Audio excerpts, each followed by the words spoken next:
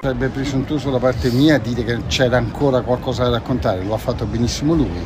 Per fortuna noi abbiamo testimonianza del suo lavoro e possiamo reinterpretarlo a modo nostro in una chiave Latin jazz che magari probabilmente a lui sarebbe piaciuta. E poi perché pensiamo che gli autori delle nostre canzoniere vanno riproposti e riletti, sono in qualche modo, vanno a formare la nostra tradizione di riferimento e riproporli significa evitare che diventino delle figurine da tenere in un bel armadio, in una bacheca. Ci sono pezzi a cui voi siete particolarmente legati di Lucio Dalla? Javier, tu? Io un po', beh, Caruso è meraviglioso, ma sono tutti bellissimi, quindi eh, sarebbe un torto dire meglio questo, meglio quello, insomma, per chi uno, per chi l'altro, alla fine abbiamo cercato di lavorare su tutti i brani alla pari e metterli alla pari. Lucio Dalla era anche un grande musicista. Sì, sì, come no, è anche un grande appassionato pure di jazz, quindi anche il fatto di fare le canzoni con l'apertura all'improvvisazione questa sera eh, sarà un, un, un bel tributo a lui tre anime differenti come si coniugano insieme? Qual è il filo conduttore? Beh, a parte che tre anime differenti, no, siamo, siamo tre anime abbastanza simili.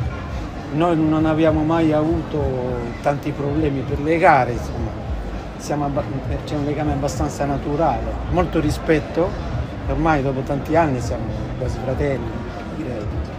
Com'è stato avvicinarsi a Lucio Dalla? È molto semplice perché comunque lui ha scritto sempre musica bella e la musica bella ti entra da sola. Lucio Dalla amava molto anche la. Voi? Beh sì, voi lo sapete meglio di me, noi abbiamo partecipato l'anno scorso col trio al Festival delle Tremiti che è dedicato a lui. Ripeto, quello che bisogna evitare, bisogna suonare la sua musica, non presumere di conoscerlo facendo dietrologia oppure qualche volta facendo un culto di chi non c'è più che è inopportuno. La sua musica è presente, lui come tutti i grandi poeti parla ancora al pubblico di adesso, anche al pubblico più giovane e anche al pubblico dei nostri coetanei che merita di vedere risollecitata la propria memoria musicale, i propri amori. Come avete scelto nel mare magnum delle canzoni italiane i brani da portare quest'oggi?